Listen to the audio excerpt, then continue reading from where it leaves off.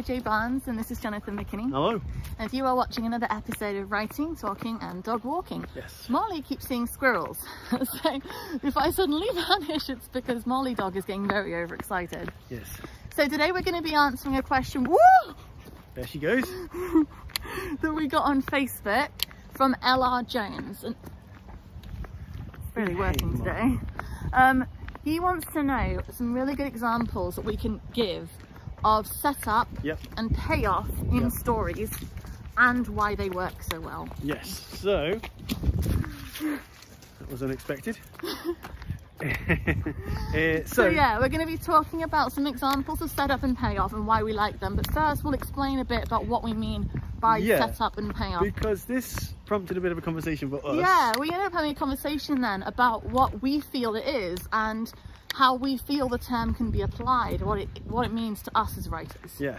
Because I had a slightly different take on it than you. Yes, you did. So tell them what your take on setup and payoff was. I will Okay, mine so mine, I always think of the Matrix first and foremost. for everything. Not for everything at all, um, but um, I think of it a lot. I think of the Matrix for setup and payoff because of the the device that the writers use to include an oracle, literally the oracle, um, in the middle of the story, which we find out that everybody who is important in the Matrix or whatever, every human that's been freed goes to see her, and everybody who goes to see her gets this little horoscope, a little piece of advice that's just for them, and this leads to a lot of payoff i think in the in the last sort of 20 30 minutes of the film. So what it gets what it boils down to uh, from a more vague and universally applicable point of view is posing a question to the audience via characters in the film or the book um, that you are promising to answer and the reason the matrix is the example i look at is because the questions that get posed to the audience through the, the middle part of that film for example, um, is Neo the one? Is Morpheus going to find the one? What did the Oracle tell Trinity? And can we even trust the Oracle? They all get answered really spectacularly by the end, right? Yeah. So essentially, that boils down to intrigue and mystery, um, and then a good explanation of what What's has happened. Yeah, a good answer to those questions. Sorry, just having a wee again. having a wee. So that was my first thought. Yeah, whereas mine was not quite as um, plot relevant, Yeah. I think. For me, setup and payoff is when you essentially um, reward your reader or viewer with making something that they might have noticed earlier in the story Yeah. relevant to the end. So Yes. almost like a series of hints about the actual conclusion. So when you look back over the story, you can see that the the writer has been guiding you towards the conclusion from the beginning. Yes. Um, so, So for not, instance, not a massively different. no, thing, not massively different. The examples are different. The examples are very different. So, for instance, um, I'm reading Harry Potter and the Philosopher's Stone Yes. right now with um, our oldest daughter. Yeah. all throughout it you're getting hints that um, Professor Quirrell is the villain. Right. It's set up that Professor Snape is the villain. Right. And it's Professor Snape who wants to get the Philosopher's Stone out from under Fluffy. And it's, it's Snape who is plotting Right. against Harry and trying to hurt Harry. Yeah. My fringe is doing some crazy things right now. Yeah, don't worry about it. Um, but when you actually look through the story, there are all the times Snape is doing something suspicious. Right. Quirrell is present. Right. So you have the fact he wears his strange smelling turban. You have when Snape is in the forest talking to Quirrell about the Philosopher's Stone, it's Quirrell who is there with him. Yeah. You don't hear everything Snape says. Right. Um, when Snape gets his robe set on fire at the Quidditch match because they think he's cursing Harry, Right. when he falls forwards away from the fire, he knocks Quirrell down. Right. And Quirrell- so that has the same impact. Exactly. Every time they stop Snape doing something, it's really Quirrell. Sort of inadvertently stops. Exactly. So if you're Quirrell. paying attention, you would feel that Snape is too obvious a villain. Right. Um, but obviously Rose is six and she's not seeing it. No, no, of course. Um, and I don't think when I was a child I saw it. well, I only saw, I never read that book. I watched the movie. Mm. And in the movie, I think it's pretty obvious because the, the turban looks so unnatural. Because they, I suppose they have to be a bit more heavy handed, there's Yeah. less time to do it. But in the book, if you pay attention, it's guiding you towards the fact it's Quirrell from the start. Right. Okay. Which, so when it's revealed and all these things are explained, the payoff for having paid attention to all those hints and clues throughout the story are very satisfying. Okay. And I, I find that sort of thing very satisfying. Yeah. Um, an example from um, film that we talked about when we were working out what we wanted to say about it. Um, in Avengers, the, final in Endgame. in Endgame, the final sequence of Endgame has so much payoff it does. for setup that was done films and films and films ago. So we, we'll spoil it. We'll yeah, I mean the spoiler because- lift, the spoiler lift was lifted officially. So obviously Tony Stark dies. yeah. Um, there, there is a there is a, a like a, essentially a wreath laid at And his funeral. At, oh, out onto the lake his, by his house. It's his little circular heart that she, uh, um, that um, Pepper Potts had mounted with proof that Tony Stark has a heart. Yeah. And it's very, very moving. You but during the fight scene, you've got instant kill mode Yeah. from Spider-Man: Homecoming. You've got the wasp saying cap, which Yeah. she teases Ant-Man about in the Ant-Man film. Because it's like, oh well, we're friends. Yeah. Um, what else is there? Oh, just like it's it's crazy how often it happens that oh on your left when he comes when left, he first course, comes yeah. through the portal. Just so many moments. If you have been paying attention Yeah. to the earlier films, you're you're rewarded. The payoff for that is incredible. yeah. The, So, yeah, for it is me- payoff overload. For me, that is what I'm talking about. If I say I'm setting up and paying off, it's for you. It's questions that are answered in a satisfying way. The setup of a question. Well, in And the case of Harry Potter, that is because the question is who is actually working against Yeah. him. And what J.K. Rowling does is use Snape as a foil for the actual villain, um, so that the viewer is led to believe, oh, it must be this guy because he all he's all black. He's like from Slytherin, and we've heard they're just bad guys apparently. So, yeah. But yeah, that is still like It there is, is a question because he doesn't go out of her way to say it's definitely Snape because then it would yeah, be exactly. like it But wouldn't work. But I think the best way for me, Yeah. for how I feel when I'm writing, if I want to do good payoff, Mhm. if I want to use something significant at the end of a story, right.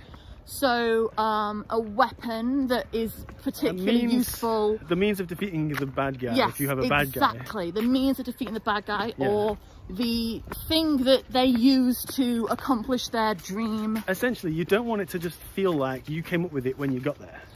Exactly. Um, so that's how you use the narrative triplets we talked about before. You can um, you can go back and insert these clues. Exactly, and if you put references to whatever it is in earlier, make it relevant, make it significant to the story, but without intruding upon the story. And I think that's the key. You have these things in that are relevant if- and important, but they don't take away your attention. If if this if this is done at a, at a kind of expert level, then you'll have a reason to use the setup in and of itself, so that if it's not setting anything up, it still deserves and needs to be in the story. Exactly. Right? The turban doesn't really. The turban in Harry Potter. Well, it's covering Voldemort's face. I know, but that's the point. yes. Um, it doesn't have a, a purpose beyond that. So when you see it, it stands out. If you want to use expert setup, then yeah, The, the thing that is setting up your final um, battle or your final act or your or final... just yeah, the, the thing that you're going to use. We're going this way. Uh, we're going that way and she's okay. going this way. Okay. the thing that you're going to use to resolve whatever it is, whether it's the entire story or A battle or whatever. a battle, whatever. If you find a good use to set that up, So it's story relevant. It's not just a random thing. It is story relevant Yeah. from the start. and sure, But- you won't always be able to make it story Oh, relevant, and that is yeah, okay. You it's can fine. just You set don't have stuff up. Not everything has to be um, perfectly stitched together all the Should go time. Oh yeah, but if you can find a reason for a device on, in your story to pay off at the end after being story relevant at the beginning for a completely different reason. Yeah. That's just tighter storytelling. it just makes it more satisfying. So, as I say, um, in Harry Potter, all of the events going on with Quirrell yeah. and Snape, they're relevant anyway because it's what's going on with Harry and his relationship to Snape, his thoughts about the Philosopher's Stone, him trying to figure out this mystery that is around them. And Snape and Quirrell are having their own battle, but you think it's something different. Sure. So, and it's, it's relevant because Harry thinks Quirrell is, is on the same battle as him. right. So he trusts Quirrell even more. So He, yeah. So, So- when it's the payoff and it's the flip, there's uh, it's there's satisfying. yeah, satisfaction is the is the goal. Yeah, 'cause I Um, think you can do a lot on this subject because there's so many ways and so many examples. Like um, LR Jones on Facebook was asking for like the best examples and our favourite examples of this, and because good stories are laden, yeah. heavily laden, like all the way through. With these um, devices that make the story so satisfying and make Yeah. the payoff And so excellent. So we could list so many examples. the reason why we talked about the narrative triplet is because when does you the same thing. when you see something once, that doesn't create expectation. When you see something once, it doesn't necessarily create expectation. Yeah. Uh, when you see it twice, though, and you know that there's still a long way to go with your story, that starts to create, whether you're aware of it or not, expectation that you're going to have a resolution to what it is that you're seeing. So, um, yeah, I think we'll do another video, or at least maybe even two, eventually, on this technique and how to satisfy your audience with setup and payoff. With specific examples. Yeah, that's a great question. Thank you. Yeah, it's crucial to storytelling. So, Yeah. um, it does deserve a lot of. Yeah, I agree.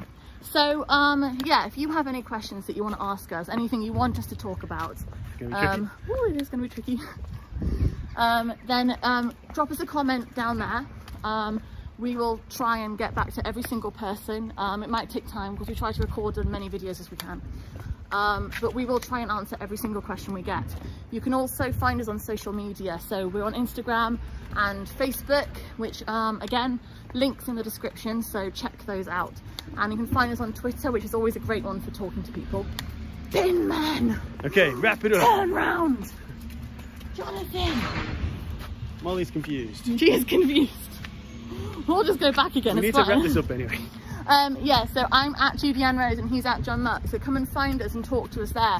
Um, we're always talking about writing and we're using all the writing hashtags and what we're doing. So um, yeah, Twitter's great for that. So come find us. Yeah. Um, also, if you go to www.sirenstories.co.uk, um, you've got links there to all our books, all our work. Um, we should do a whole video on the setup and payoff we do because, Yeah. oh, but we're going to be spoiling all our books. well, we'll but anyway homework then. we'll do that because we love to use this it's really exciting when you do it well Yeah, it's the best part of editing as well. it is the best part of Making editing sure that it's tightly constructed from the start.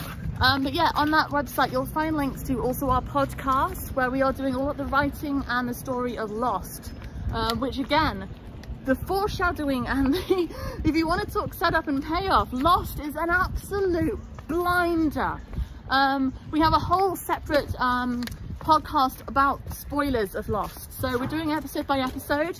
No spoilers on the iTunes and the Google podcasts.